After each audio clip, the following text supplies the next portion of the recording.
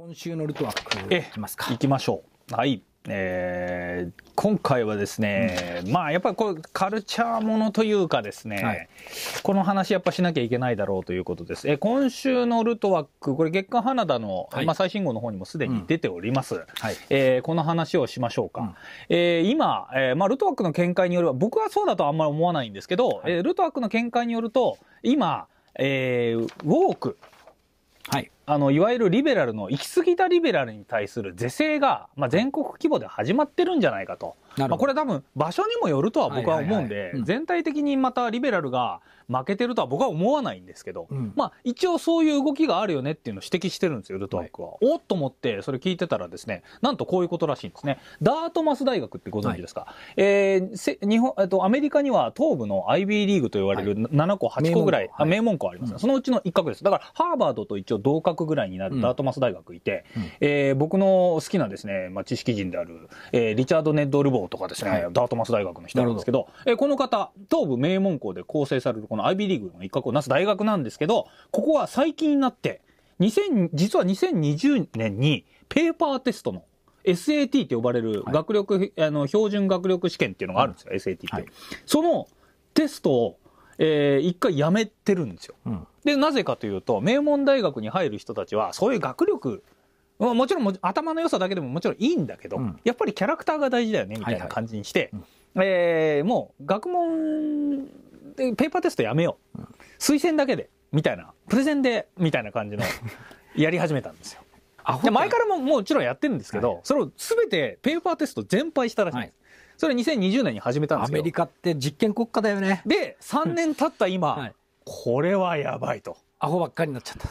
学、学も、学力はそもそもないのに、うんプレゼン能力だけで入ってきたやつがいるから、うんは例えば、まあ、ルトワックに言わせると、その古典の授業、うんラテン語の授業とか、もし、もしくはその、えーギリシャローマの、うん。まあ、前回ちょっと言いました、プラトンのやつとか、哲学の授業とか、やっぱりやるわけじゃないですか。はい。全然クラスが、あの、つ授業についていけないのが続出なんだって。で、例えば、えーあるクラスでは、クラスの3分の2がダメだったんで、あの、学力的に落ち、落ちちゃったんで、えーそのある先生が全部、その3分の2ですよ。70%ぐらいに F つけたらしいんですよ。要するに、お前ら落第。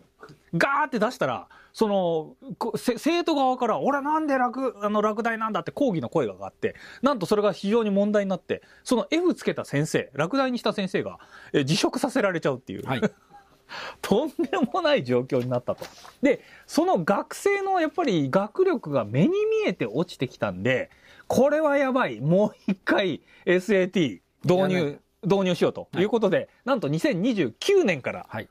だから、えそれちょっと遅くねって話なんですけど、それで相も当先じゃん。相当先なんですけど、すぐやれよなんですけど、2025年にやれよと。2029年だそうです。そっからは始めるということ今なら皆さんもアメリカのダートマス入れるんじゃない？いやほら、大事なのは、なんかその変な経歴的、そう、はいあの、えーなんか地元の議員の推薦状を持ってるとか、はい。そういうなんか余計な、あとプレゼン、こういうことやってます。えー地域でコミュニティでなんとかやってます。学生の時にこういう運動してましたみたいな。のが必要なんですよね。うんはい。だから、ルトワックこういうこと言ってますよ。まあ、ルトワックイスラエル側の人間なんでこういうこと言います。パレスチナの支援だと叫んで、うんキャンパスでデモするのは構わない。うんなんですけど、彼らは学生としての 学力が決定的に足りない。例えば、ギリシャローマのような古典の教養系のものを全く学ばなくなってる。まあまあ、それはそうですね。その、ししかもひどいのは、そのような学生たちを正直に採点して、クラスの4分の3を落第させてしまった教授が、大学から解雇されるような事態が起こってると。はい。うんで、そう、このような事態にダートマスはあ反旗を翻したということになってます。で、実際に僕もね、あの、いろいろ調べてみたら、やっぱりこういう話です。2029年度の学部入学志願者から、えー SAT を復活させるという、やっぱニュースが出てますね。はいはい。ということですよ。だからやっぱり、その、まあまあ実験国家っちゃ実験国家なんでしょうね。うん。アメリカやっぱりこういうとこ、ただ、まあ、私立だからうん、こうやって、割と自由にね、受験形態も変えられるんだろうな。まあまあ、それもちょっとあると思うんですけど、い、や、それにしてもちょっとこれはやりすぎ。でもこの間にダートマス出たやつがアホなのに、うん。卒業っていう、その、ダートマスのゆとり世代みたいな感じになりますよね。使えいないやつが出てきちゃう。うんかもしれないですね。はい。はい。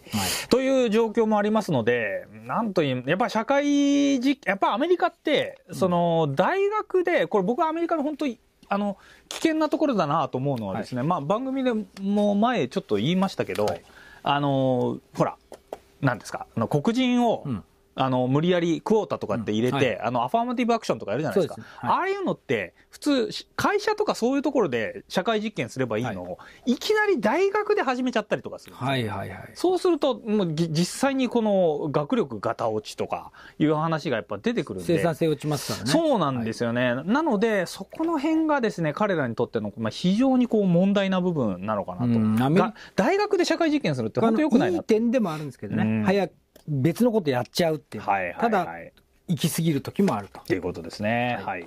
アメリカの大戦略と新フォースターニング。なぜ今この米中10なのかということでありますと、まあこの新フォースターニング、フォースターニングイズヒアっていう本が出たんですけど、それの解説をねねはいさせていただいたりする部分もあるんですが、はいまあとにかくあのー20年ごとに、うんえー80年、はいまあ4回、あのーまあ春夏秋冬があって、はいはいはい。で今ちょうど冬だと。でガラガラポンが起こりますよとはい。いう厳しい時代で、はい。ということで、うん。ちょっとまあ準備しましょうと。いうことで、まあ、知識を入れて、えー心と体を準備していきましょうと。いうことで、えー役立てていただけたらと思っています。アメリカの戦略書を解説させていただいております、そうなんですよね。ははい。い。まあ特にえっ、と米中に向かっていくアメリカのその戦略図みたいなものが、まあ明確に今見て取れるので、そえーそれに関する本と論文を解説したと。それから、まああのーやっぱ構造変化が起きてます、今もうインフレがあったりとか、うんはいはい。あとまあ気候変動なのか、えーまあ、食物がちょっと危機になったりとか、うん。いろいろありますんで、まあ、はい。そういったものも理解しながらですね、うん。やっぱ冬の時代って恐ろしいなということをちょっとはい。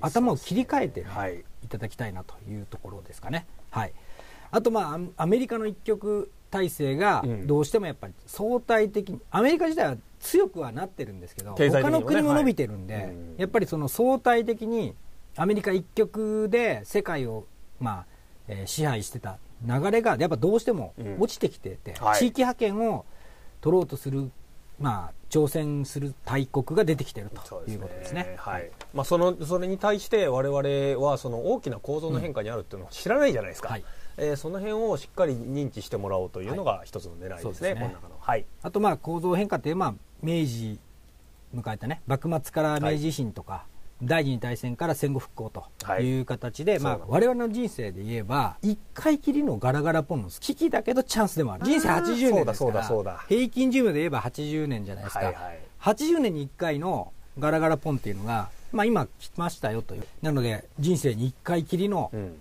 チャンスと。危機はチャンスじゃないですか、はい、ということで役立ててい。ただけたらと思っております、はい。今日は正志の戦略ラボはい。というのもあ始まりました、そうですね。普段からニュースでこういうニュースがあって、これってこういうことだよねというふうなやり取りとかをちょっと、まあ、この中でやっていって、はいはい。まあ普段から戦略に触れていってほしいなということで、えー始めております。はい